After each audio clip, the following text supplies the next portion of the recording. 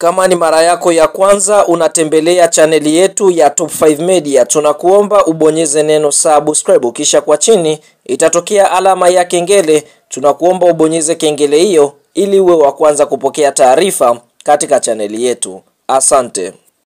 Mchezo mkubwa wa ligi kuu soka Tanzania bara almaarufu kama NBC Premium League ambao tumetoka kuutazama siku ya leo kutokea katika uwanja wa Kasim Majaliwa uliopo mkoani Lindi.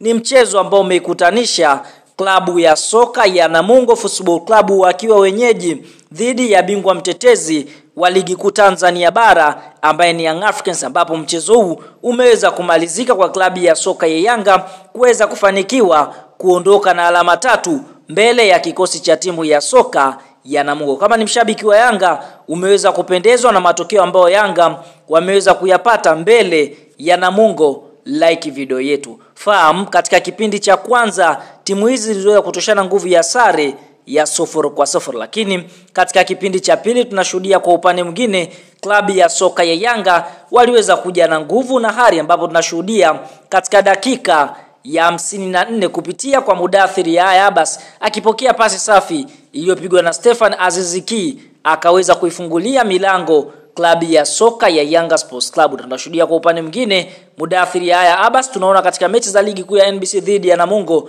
ameweza kushinda katika mechi zote. Mechi ya mzunguko wa kwanza Yanga aliibuka na ushindi wa bao moja kwa sifuri. Bao hili lilifungwa na Mudathiri haya na hatimaye Mudathiri akaweza kuifungulia klabu ya soka Yanga milango, lakini katika dakika ya hamsini na sita kupitia uzembe ambao uliweza kufanywa na beki wa Namungo, basi Clement Mzize akaweza kumpoka mpira na kisha kwenda kupress mpira kwenye lango na kuweza kuiandikia klabu ya soka ya Yanga bao la pili. Lakini dakika 62 Stefan Aziziki mwamba huyu kutokea Burkina Faso akipokea pasi safi iliyopigwa na ya Otoula Kwas akaweza kuiandikia klabu ya soka ya Yanga bao la tatu na ni bao lake la kumi na moja katika ligi kuu ya NBC. Anamfikia Faisal Salumu ama Feitoto, lakini tunashuhudia dakika ya sabini Ibrahimu Abdullah Baka aliweza kujifunga goli na kuweza kuipatia Namungo bao la kwanza.